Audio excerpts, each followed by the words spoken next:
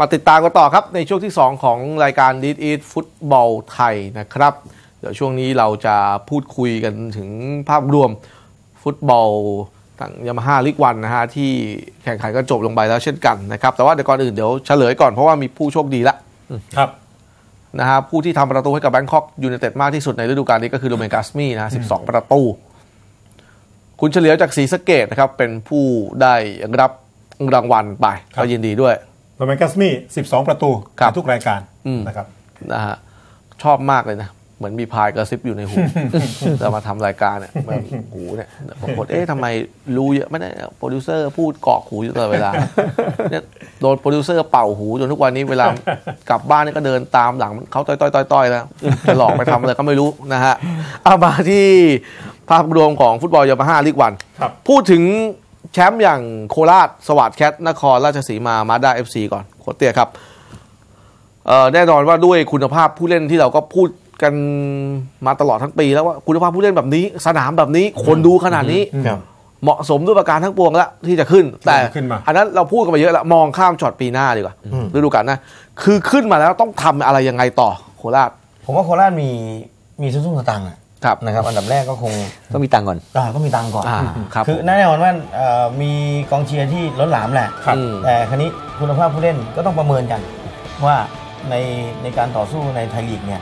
เอ่อตัวผู้เล่นต่างประเทศก่อนครับต่างชาติพอไหมใช่โอเค อย่างอีอวานย่างโบวอโควิชตวิดเนี่ยอือฮึมาเล่นกับชมรีก็ไม่ได้ไม่ได้ไม่โดดเด่นไม่โดดเด่นแต่นี้พอลงไปเล่นดีหนึ่งเนี่ยแน่นอนว่าเขา เหนือกว่า เขาต้องเหนือกว่าอยู่แล้วครับ นะครับไม่เหนือกว่าก็ต้องไปอะอืม นะครับเพราะฉะนั้นอ่าผู้เล่นอย่างดีทักเอยอย่างอ่าไงล่ะชูวิต้าเอยอะพวกเนี้ยก็ยังยังต้องต้องต้องตอบคำถามของโคราชให้ได้ว่า พอหรือเปล่า อืม คือผมไม่ได้บอกว่าประเมินยังไงนะ คุณต้องประเมินเองว่าพอไหม ครับ เพราะว่าตัวไทยเนี่ยผมเชื่อว่าเขามีสต็อกเยอะมากอืมเขามีสต็อกประมาณ 30 คนของโคราช ถือว่าเยอะถือว่าเยอะ เยอะมากเพราะฉะนั้นเยอะมาก เพราะฉะนั้นตัวไทยเนี่ยผมว่ายังยังยังพอมีเบียดนะ ผู้เล่นหลายๆคนอย่างอย่างใครล่ะอย่างสราวุธอย่างอัครวินสาวุธ อ่าอ่าฮะลัครวินเอยมาเล็กเอยปริญญา พวกเนี้ยยังคงเฉลิมเฉลิมพงษ์ อืม คือเคยผ่านเอยทีไทยลีกเหมือนนั้นแล้วก็ยังหนุ่มอยู่นะนะยัฮะงกำพลเอยก็รออมรอขึ้น การพิสูจน์ฝีมือเหมือนกันว่าเขาก็มีดีเหมือนกันครับ นะฮะก็คงจะต้องอาศัยสิ่งแวดล้อมที่เขามีในบ้านก่อนอืมเกมในบ้านพวกเขาโหดมากนะครับเป็นเป็นทีมที่มี มีปัจจัยพร้อมที่เอานะจะจะเดินหน้าสได้นามซีเกมหรือสนามเฉลิมพระเกียรติเนี่ยผมว่าไม่มีไม่ต่ำกว่าสองหมื่นอ่าใครไปเจอเนี่ยผมว่าว่าครับเหนื่อยหมดนะกองเชียร์แล้วเชียร์นี่ผมบอกว่า คนดูแต่สนามอืมนะสนามอย่างเงี้ยเปิดเปิดอย่างเงี้ยเต็มฮะครับแล้วยิ่งเจอทีมใหญ่ๆในไทยลีกเนี่ยผมว่าไงก็เต็มคือถามว่าถ้าล้นเป็นเป็นคุณภาพจริงๆแล้วเนี่ยก็ก็ต้องชื่นชมว่าเขาขึ้นมาพร้อมกับศักดิ์ศรีของความเป็นทีมฟุตบอลอาชีพเกือบสมบูรณ์แบบเหมือนกัใช่ครับเพราะฉะนั้นก็ยินดีต้อนรับแล้วกันในขณะเดียวกันเอ่อก็ต้องต้องดูว่าคุณภาพ ของทีมอือฮึนะเป็นห่วงแค่ตรงนั้นอย่างอื่นผมว่าอ่าเสียโตเองวัชรพลเองก็ก็รู้ว่าไม่แน่ใจผมทุกบอกไงพอเริ่มพอเริ่มก่อร่างสร้างตัวปุ๊บมีข่าวว่าอ่าอ้าวจะต้องเปลี่ยนแปลง เพราะว่านั่นนี่นั่นอ่านู่นนี่นั่นเอาแล้วไงมาแล้วไงมาแล้วอย่างเงี้ยมันจะทำให้ทีมมันแตก เพราะฉะนั้นเตือนไว้ก่อนครับนะฮะสมบัติชิ้นนี้เป็นของโคราชอืมนะครับ พยายามฮะเก็บให้ดีครับครับนะฮะผมว่าเขาอยู่เขาอยู่ได้ถ้าเกิดเขาขยับตัวเร็ว ใช่แล้วคือเรื่องของตัวผู้เล่นต่างชาติเหมือนที่บอกว่าจากปีแล้วเนี่ยเจ็ดคนนะปีนี้นะครับฤดูกาลเหลืนี้อห้าเจ็ดคนปีหน้าเหลือห้างั้นคือนักเตะไทยเนี่ยสำคัญมากแล้วก็สต็อกเขามีเยอะใช่นะครับผู้เล่นที่เขามีผมว่าสามารถที่จะยืนระยะได้ ผมผมจะมองเชื่อว่าโคราชขึ้นมาเนี่ยอยู่ได้อยู่ได้อยู่ได้อยู่ได้อยู่ได้แต่ปัญหาเกิดขึ้นไอ้กูอยู่ได้เนี่ยผู้บริหารชุดเดิมไหมอืจะมีปัญหาก่อนที่จะเริ่มเริ่มต้นไหมช่วงนั้นเป็นห่วงว่าตรงตรงนอกสนามมากกว่าหลังบ้านอ่ามากกว่าหลังบ้านเป็นยังหไงลังบ้านอ่านะครับโอเคเกมเบะ ทำงานคู่กับพี่โตอ่าเสียโตดูดีแล้วครับนะฮะคุณรัตพลบอกว่าเฮ้ยมันมีปัญหาแล้วนะอืมเอากลุ่มข้างหลังบอกว่าเฮ้ยเห็นมันเปลี่ยนกันบ้างดิเปลี่ยนกันโชว์หน้าโชว์ตาบ้างอะอ่ามันกลายเป็นอย่างนั้นไปอ่าก็อันนี้แล้วแต่แล้วแล้วผมแต่ขอถามต่อ ถ้าสมมติว่าหลังบ้านไม่มีปัญหาล่ะอ่าคนเสียโตทำทำต่อ คิดว่าขึ้นมาแล้วด้วยนักเตะขนาดเนี้ยจะทำได้เหมือนสุพรรณในปีแรกไหมยากสามยากใช่ไหมยากเอาบอกว่ากลางๆนี่ผมว่าก็โอเคอ่า คือต้องดูประเมินก่อนว่าเขามีแผนแค่ไหนก่อนถ้ามีแผนบอกว่าเฮ้ยเหมือนสุพรรณสุพรรณตัวผู้เล่นที่ไปนี่คือมันไทยลีกนะ โอ้โห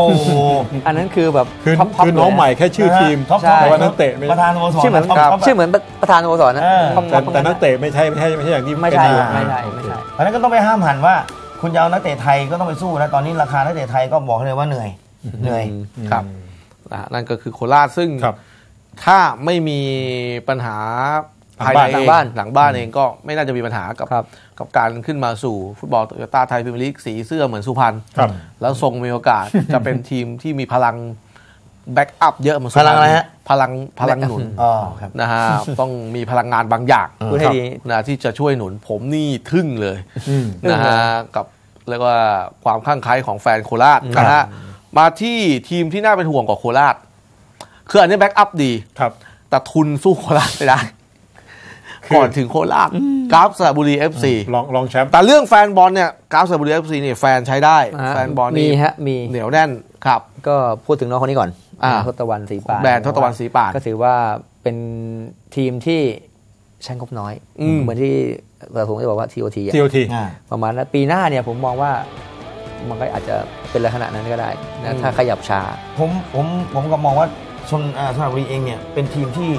สร้างด้วยความอดทนครับนะฮะ เขารู้ตัวเองว่าจะต้องทำอะไรสังเกตไหมอ่าเล่นมาก็กลางๆไปเรื่อยไปจเรื่นอยกระทั่งจนกระทั่งนักเตะที่ก่อร่างสร้างตัวเนี่ยมันเริ่มเข้าขาสุแล้กวงมครับเข้าสุกขางมปุ๊บมันก็เริ่มอ่าผลิดอกออกผลให้เห็นว่าที่สร้างมา3-4ปีเนี่ยบางคนมาตอบแทนแล้วอยากจะก้าวต่อใช่ แล้วก็มาได้อย่างอ่าวันชนะเอ่ยนะฮะอย่างได้ที่มาประคองอ่าธนงศักดิ์อย่างพนุวัฒน์มาประคองฮะทีมมันก็เลยเลยมีมาตรฐานที่สูงขึ้นครับนะฮะประกอบกับเอ่อตัวต่างชาติอย่างเฮนรี่เองเนี่ยเบอร์นาร์ดเฮนรี่เนี่ยก็ถือว่ามา ช่วงช่วงที่ถูกเวลาพอดีอืมวาเลรี่เอยวาเลรี่เนี่ยพวกเนี้ยมาทำให้รู้สึกว่าวันความเติมเต็มมันมีเพราะฉะนั้นสระบุรีผมว่าพวกเขามีสิ่งหนึ่งที่ที่หลาย ๆ ทีมไม่มีนะคือ สปิริตคือต้องยอมรับว่าประธานสโมสรอ่า นะพี่พี่เป้งเองก็คุณวีรพลก็ปล่อยคุณพลก็ปล่อยให้ทางตะวันเนี่ย ทำได้อิสระทำเต็มที่แล้วก็แบบว่าอดทนมากครับ นะครับผมว่าเป็นทีมอื่นผมว่าก็อยู่ยากเหมือนกันอืม นะต้องต้องยอมรับว่าตรงนี้เป็นจุดดีที่เอ่อ ทศตวรรณศรีปานเนี่ยได้ประธานสโมสรที่เข้าใจในฟุตบอลครับผมนะครับอดทนมากครับนะครับแล้วก็ตอบแทนโดยฤดูกาลเนี้ยทีมได้ขึ้นชั้น คือเป็นจุดแข็งของซาอุดีละครับสำหรับใช่ครับทำงานตรงนี้แต่ปัญหาไม่มีควมกคือดดันจะปัญหาคือไม่แน่ใจว่านักเตะที่เอ่ยชื่อไปทั้งหมดเนี่ยจะอยู่ไหมไปยืมหรือเปล่าอ๋อออืมอ่ายืมมาหรือเปล่า แล้วต้นยังไงต้องลงทุนแค่ไหน ไม่คือยืมมาเนี่ยต้องคืนแล้วไหมพอเห็นว่าเล่นกับสระบุรีดีปุ๊บอืมเอาละดีใช่ไหมขอเอากลับเอาคืไปนใช้อืมอันนั้นแหละ ที่ยวบจะมาหา ผมว่าไม่ไม่อาจจะยวบนะถ้าเกิดใช้งบเท่าเดิม แล้วปีนี้ได้เพิ่มอีก 20 ล้านเนี่ยผมก็อยู่ได้อืมนะเอาเงิน 20 ล้านไปอาหารเพิ่มว่าจะซื้อผู้เล่นแบบไหนอืมก็เหมือนก็คือว่าต้องใช้เงินทุกบาททุกสตางค์20 ล้านเนี่ยให้ให้เป็นประโยชน์มากที่สุดครับนะครับคุ้มค่าที่สุดนะฮะซึ่งก็เดี๋ยวต้องปัญหาหนึ่งที่สระบุรีเจอก็เรื่องสนามอยู่แล้วแหละ ตั้งแต่เรื่องฝ่ายที่ก็มีการปรับแล้วมาตรฐานสนามต้องไปปรับอีก ล่าสุดก็เป็นเรื่องพื้นสนาม ซึ่งล่าสุดก็มีข่าวว่าคุณวีรพลก็จะทุ่มเงินเจ็ดหลักนี่แหละปรับอือฮึพื้นสนามให้มันได้มาตรฐานของไทยพรีเมียร์ลีกครับนะฮะอะมาที่ราชนา วี FC นะฮะทีมเหล่าทัพที่สวนขึ้นมา สวนสวนแอร์ฟอร์สสวนเพื่อนตำรวจขึ้นมาครับนะฮะเป็นอย่างไรบ้างแล้วการที่เป็นทีมเหล่าทัพเนี่ยเรื่องของการบริหารจัดการ คล่องตัวไหมอย่างไรฮะโค้ชเตี้ยเออผมว่ามันเปลี่ยนไปยุคมันเปลี่ยนอยู่แล้วเพราะว่าตอนเนี้ยทหารเอ่อส่วนใหญ่ ไม่ว่าจะเป็นทหารเรือหรือทหารอากาศหรือตำรวจแล้วแต่เนี่ยคือเป็นแค่คนอำนวยความสะดวกให้อ่าครับในขณะเดียวกันก็จะมีนายทุนซึ่งหอบทั้งเงินหอบทั้งคนบริหารมาอืมในขณะเดียวกันกล่องเนี่ยทับเอาไปกองทับเอาไปเลยอืมในขณะเดียวกันเรื่องเรื่องของการทำงานในสนามจ่ายเงินจ่ายทอง เป็นไม่ต้องมายุ่ง เป็นนิติบุคคลใหม่ขึ้นมา ใช่ไม่ได้เป็นคนมานั้นเพราะเป็นกฎของของ FC ซึ่งซึ่งต้องมีอย่างนี้อยู่แล้วครับ ก็ก็ถือว่าเป็นเป็นความลงตัวระดับหนึ่งนะครับ หลังจากที่เคยอยู่ระดับไทยลีกอยู่ช่วงหนึ่งแล้วตกไปครับแบบสามถึงสี่ปีแล้วกลับมาเนี่ย อืม ก็ถือว่าเป็นเป็นเรื่องที่น่ายินดี เก่งนะ เก่งเก่งเก่งมากเก่งผมบอกว่าน่ายินดีทีมนี้ก็เป็นอีกทีมหนึ่งที่ที่บอกเลยว่าเก่งมากครับ ๆ แต่ก็ต้องฝากเตือนว่า เก่งขึ้นไปแล้วเนี่ยในในระดับไทยลีกมันสูงมากๆยากกว่านี้ยากกว่านี้เยอะ ครับ แล้วก็เตือนถึงทีมไทยลีกเหมือนกัน ใครไปเยือนสัตหีบระวังให้ดีเน้นย้ำอีกทีย้ำว่าเรื่องลมลมที่เปลี่ยน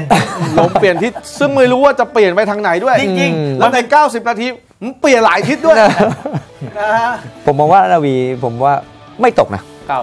ผมว่าการไปเยือนถิ่นเขาเนี่ยผมมองว่าทุกทีมได้ลำบาก แต่แต่นักเตะต้องเติม ต้องเติมแน่แต่ว่าแล้วก็อย่าลืมว่าเติแค่ไหนก็อยู่ที่งบแหละอืมทีมทีมทหารทีมนี้ผมมองว่าโค้ชหมีเองเนี่ย ผมว่าเขาเขามี